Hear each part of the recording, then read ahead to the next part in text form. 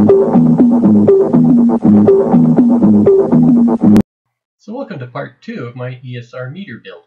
Now in part one, I basically gave out a quickie ESR for Dummies course, which I gave all sorts of nice little graph on the boffins on how ESR is defined and what how it's measured.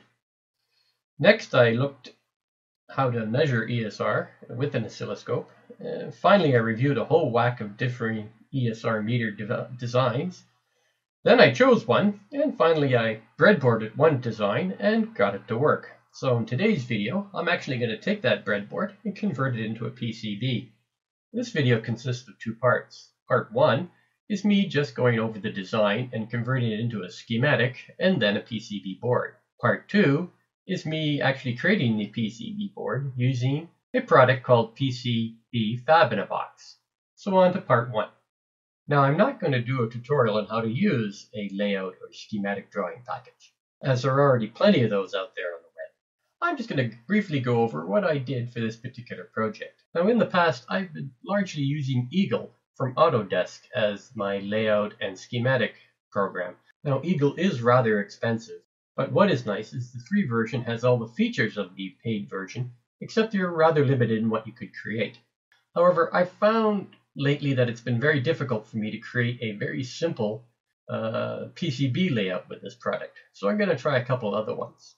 Now I first decided to use do-it-yourself layout as I've had some bit of luck using it for point-to-point -point and breadboarding layouts. However, I didn't find it any use for making a PCB for me. So I decided to try another popular free product called DipTrace.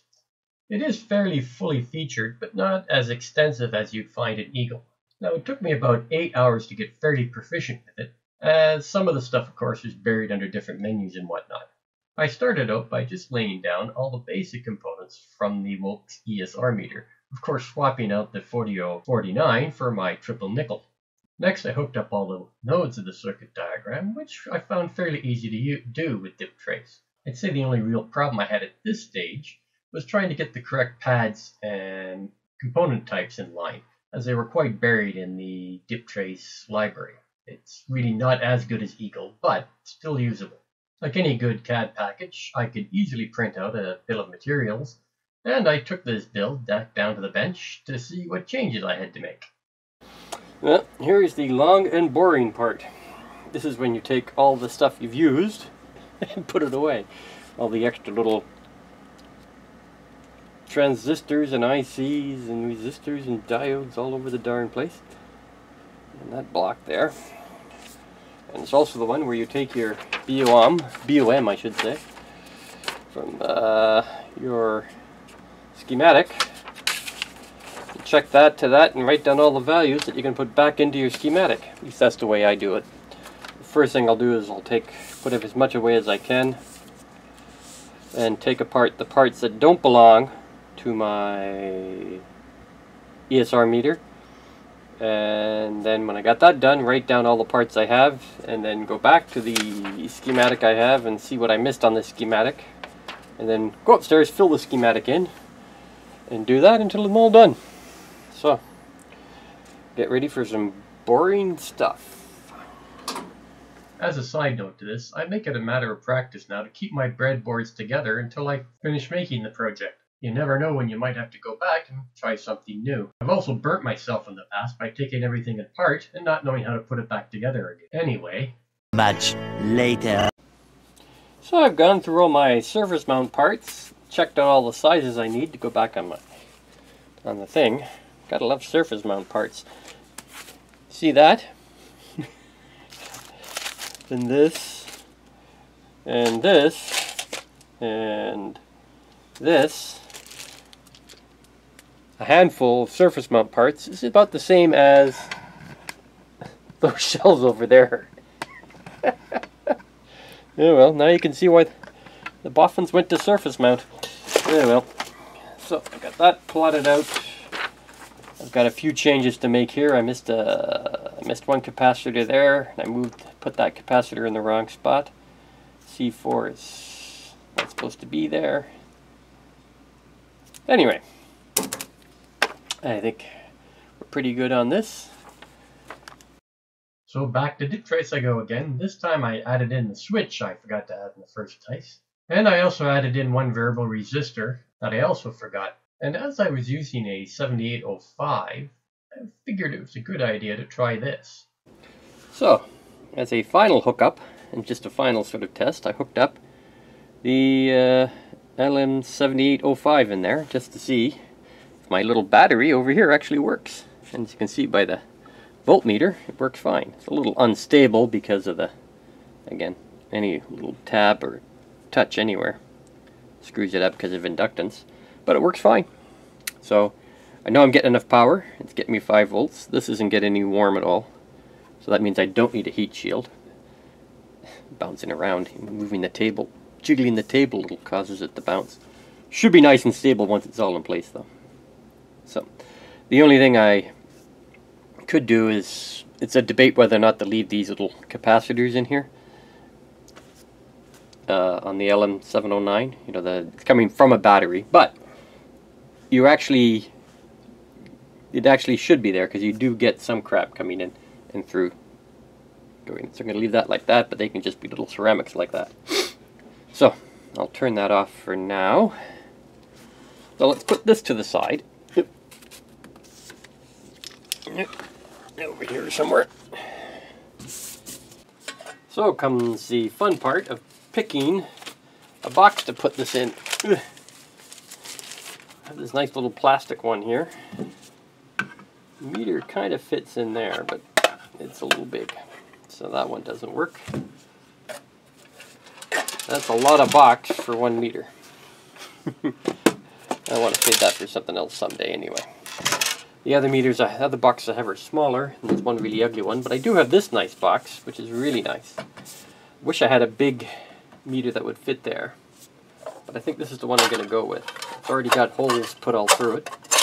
Screws on the back, of course. Holes in there, holes there. But, I think it should work without too much ado. Okay, you know, I could just use the meter in there, but the only problem is, well, not a problem, it's the same scale as this one, in microamp meters. It's just that it's a galvanometer going left and right, and that's actually a useful thing to have around.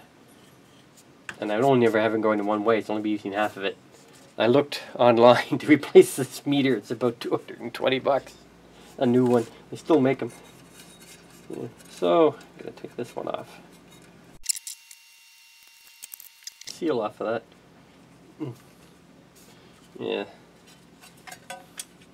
So, little thin. So what we can do is get another piece of sheet steel, bolt it in like that,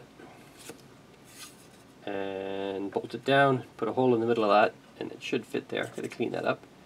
It should fit in there nicely. I've got uh, three mounting holes, which I can remount. So I'm not too worried about that. That'll, that'll look nice in there. Give me a nice view. Now, the on-off switch. I could put it in top. I might put it just there. Again, it's a small little hole. I don't think it looks good anywhere else. So I'll need a piece of metal to cover that up, or a piece of plastic or something. Gotta go out in the shop and get that. Now for dimensions, where did I put my ruler?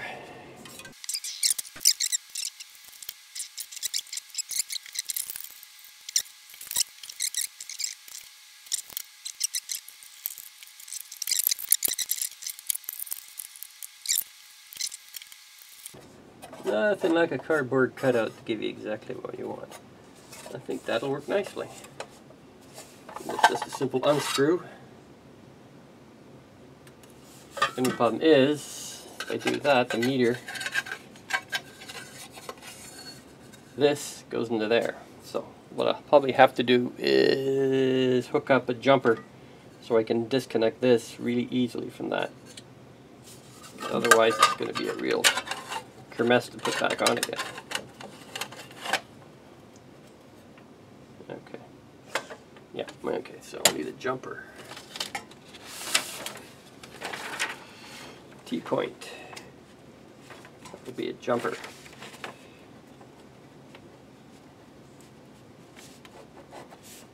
Press button or whatever. So back to dip trace once again for some more revisions to my schematic. First I took out the test points and the zero adjust and added in a four point jumper. Next the amp meter and then the switch for another four point jumper to get me this. And then back down to the bench to see if I had a suitable jumper and hookup. So, uh, one of the great things you have when you get into this hobby after a while is a junk box. So I was rooting through the junk box, and just before I finished reading through my junk box, and I decided to go with this one, found this piece right here, and I go, well, that's not going to help me, it's not connected. But then again, it's two connectors of four, just what I need. All I got to do is cut the wires, and I think that's going to give me more than enough wire to go anywhere on the board. So, I'm just going to use this. So back to the schematic software once again. This time I swapped out the jumper here and the jumper here for eight simple pads, as the jumper I chose was just a simple through-hole part. Now that I have the schematic mostly worked out, I can move over to start doing the layout. Now DipTrace has a separate program for this. You can go to it from the schematic and all your parts will be transferred over. You have to very carefully then hook the two of them back up together in case you make any changes in your schematics, but I won't go into the details of that. In this iteration of the layout, I defined the board which I was going to use, and I found that DipTrace was this was much easier to do than Eagle. Then I basically just took all the parts of my schematic and placed them on the board trying to put them in some sort of order, but not really caring where they go at this stage, because I still had one more step to do. So one neat little trick I learned eons ago, actually just got finished putting the layout as you can see, and I put it down there on my,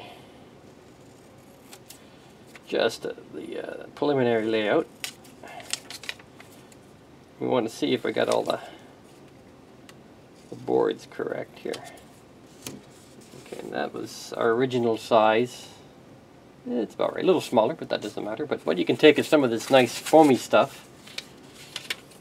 Stick that on there like that. Cut it to size. Or general size.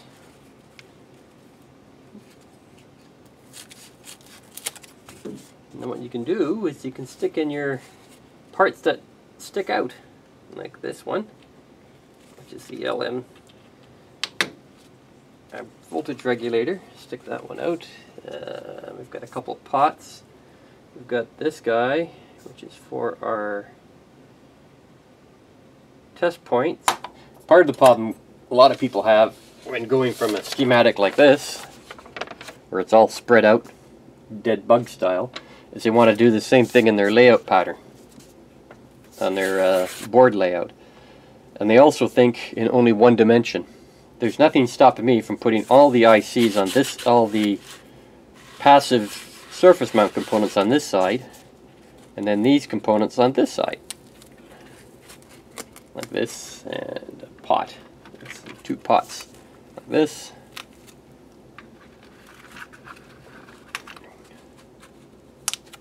Right, all my passives over there. A couple of standoffs like that. Can very easily stick it in like that. And only problem being I can't really get in there to unscrew those now. So I have to put them in a place where I can get at them and unscrew them. Right? So this side is going to be my... And that actually putting them on the other side solves two problems. One, these aren't surface mount parts, so I got to put them through the holes, through the board, and then solder them that way. Same thing with these and the other one or two little through hole components I'm using. So that solves that problem by just putting them on the back. So back up into the layout part of DipTrace, and then I started the rather slow process of selecting pads, values, and moving everything about. And then... Much, much, much later. So I eventually came up with a fairly nice layout. It really is a rather mundane process of just simply moving things about and then running DipTrace's AutoRouter. Now, DipTrace happens to have a very good AutoRouter. Actually, I find it much nicer than Eagle's. Here's an example of one running in real time. After running through many, many iterations, I finally got one that had a good layout, my parts in about the right places, with only a few little problems to fix.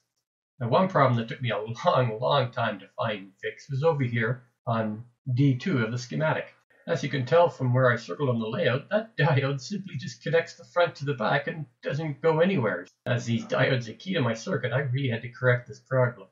I eventually found on the original schematic that I had one extra net that was connecting D2 front to back. Well, I just deleted that. I did another auto route after that and cleaned up the problem. So as a final step, I took advantage of DipTrace's 3D modeling software and ran a quick 3D model. And there I found out another little mistake. I had put one of my pots way too close to my LM7805. So while I was moving those two away from each other, I also took the opportunity to take to move a lot of my components a little further apart so it'd be easier to put together. And then I finally came up with this layout. The board was actually much smaller than the original I was working on, so I cut the size of the board as well. So now I can go over to the next side of the process, and that's actually cutting out the, the PCB from this. Now, not to beat a dead horse, I did take this new much smaller PCB and try to fit it into the bottom of my project box. However, the LM7805 was getting in the way of the panel meter. And then I'd also have all these screws sticking out of the bottom of my box, which I didn't like. So I just kept with my original plan, stick it on the back of the of the project box. So with that all done, let's start part two of this video.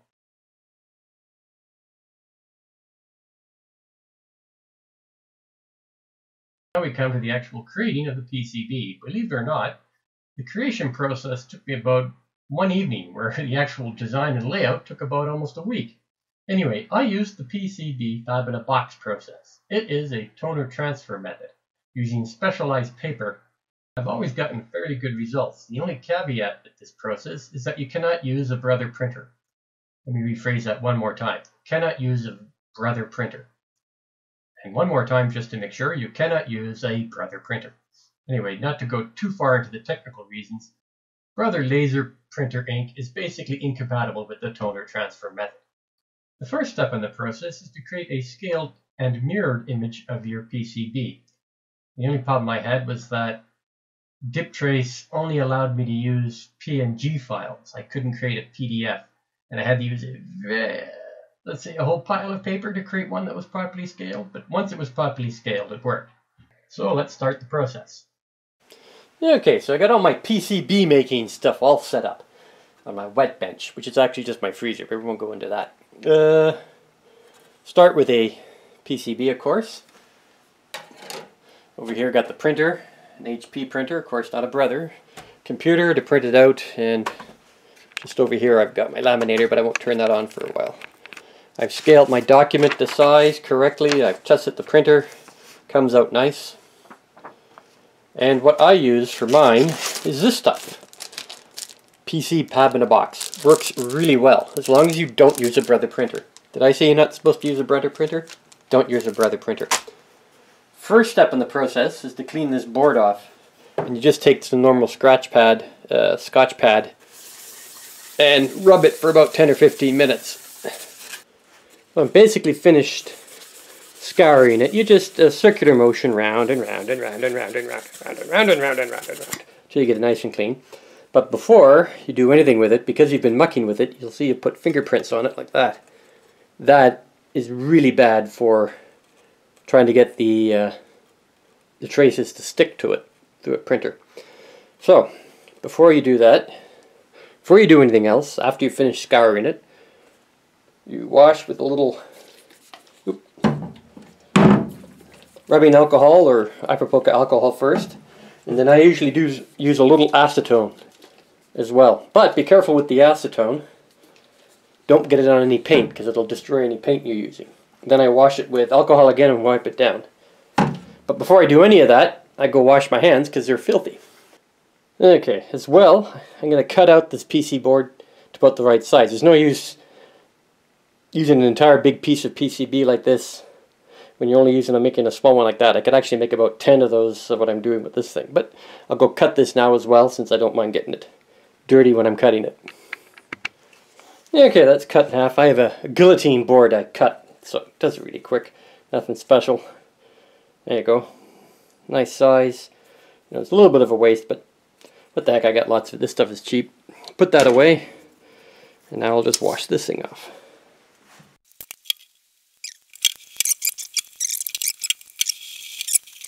Paper towel, like that, and pat dry it. Ugh.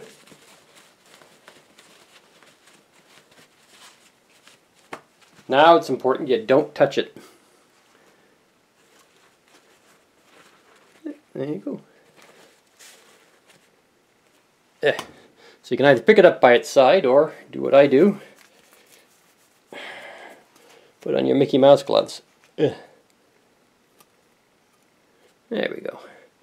So now I'm going to let that dry for at least 10 or 15 minutes and so in the end I actually cut it in half because I found out I have more than enough room to get the whole thing done on one so I'm going to try that. So I always start with a nice clean sheet of paper with my PCB on it and I also mark the orientation because sometimes this might not be in the center and if you put it in this way it'll be offline.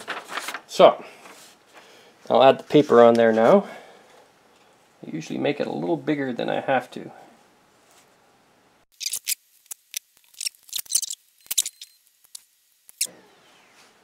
So let's see. See, that looks nice. Uh, nicely printed down there. Now just take it off and put it on the PCB board.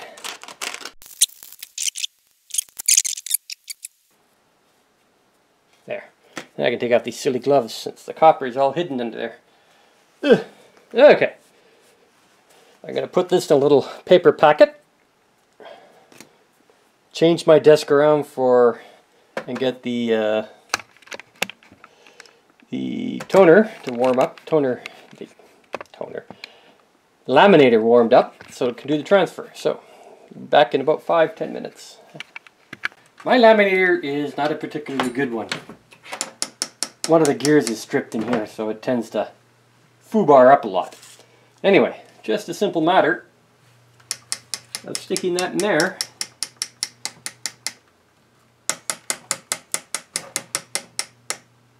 And running it through about a dozen times.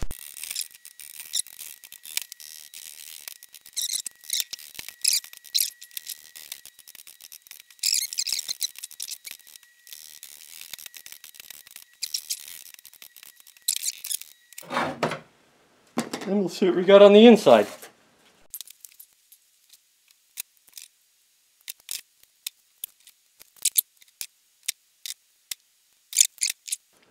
Anyway, let me get this ready to go put in some water and we'll be all done.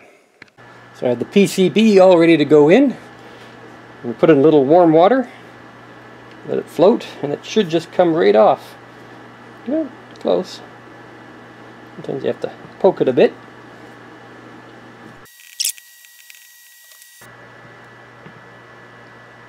There we go. Came right off. Nothing behind. And there's our nice little PCB. Cool, huh? Got a little spot on it, but we got one more process to do with the laminator and then we can actually start working on it. Gotta love these things. Okay one of the last steps, once it's dried, is actually take a look at it with a loupe and check for any missing traces. So, after a close examination, I only found one little bad trace over here, which I'll just touch up with the pen.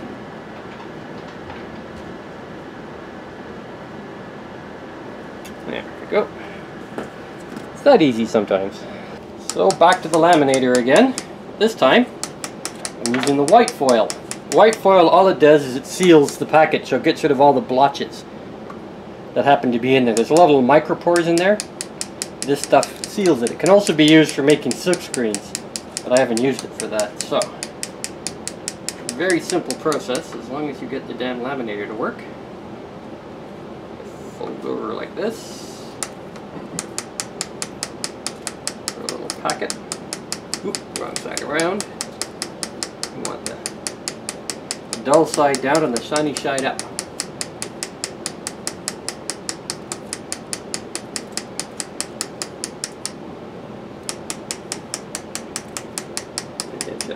carefully stick it in there. You want to make sure you pull it back so it doesn't wrinkle. And you just really need to go through once without burning your fingers. Ouch.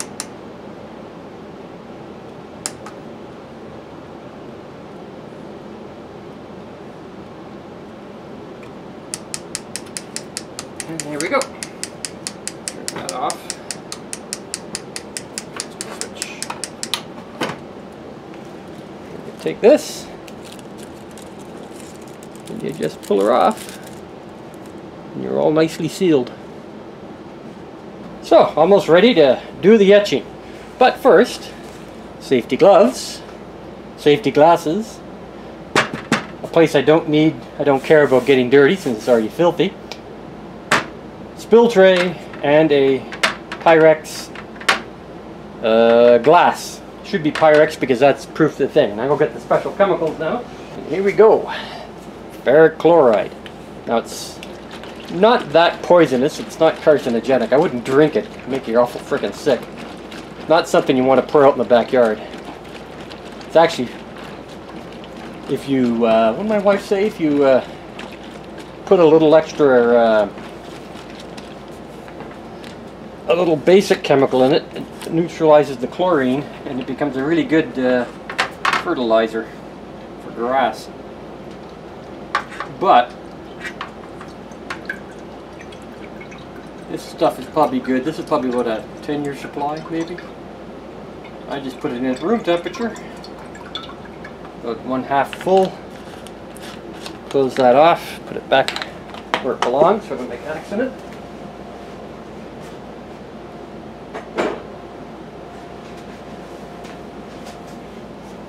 I cleaned up my board nicely so it's all there.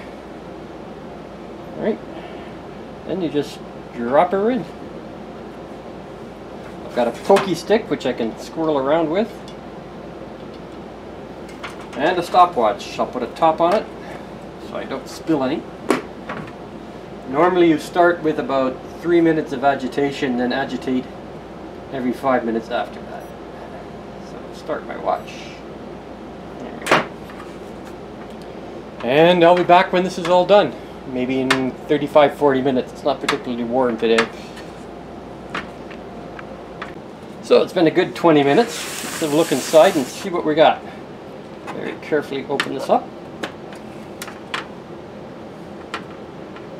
I get this crap all over the place. It spills really easy.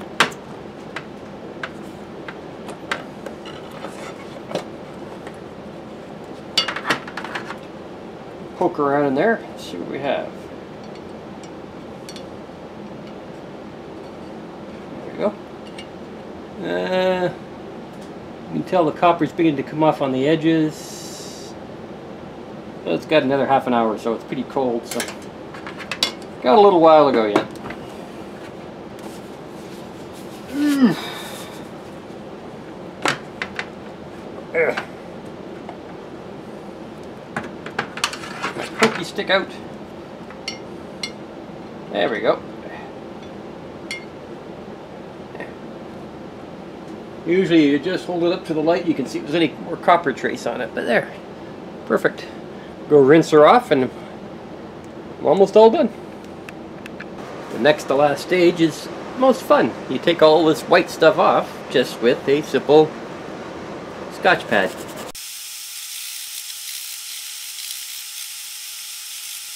There we go. Mm. Hey, how about that? Nice and clean. Now, just wash it with a little alcohol and then little alcohol and then the final step after this. Okay, for the final part of the process, see how nice and clean I got it. So I'm going to dip it in liquid tin. And that takes about three minutes. Okay, that's been a good 10, 15, well, 5, 10 minutes in there. Dig that out of there.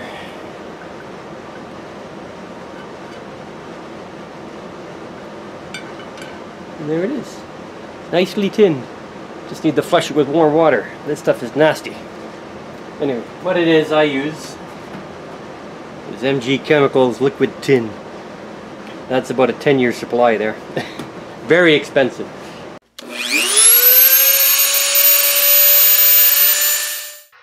Okay, as you can guess, the last step in the process of creating your PCB is drilling all the holes out. In this case, it wasn't too much trouble because I'm using surface mount parts. I've had cases where I've had to drill two, 300 holes and it's taken all evening. This one only took about 10 or 15 minutes, and without any trouble. Stay tuned for the next episode where I place all the components on the board, plug in the battery, calibrate it, put it in its box, and then enjoy using it. Ta-ta for now.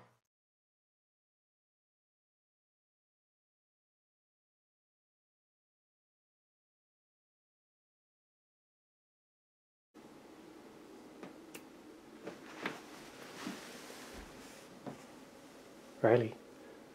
Riley. Did I make a mistake? Did I make a mistake? It's not scamic, Riley.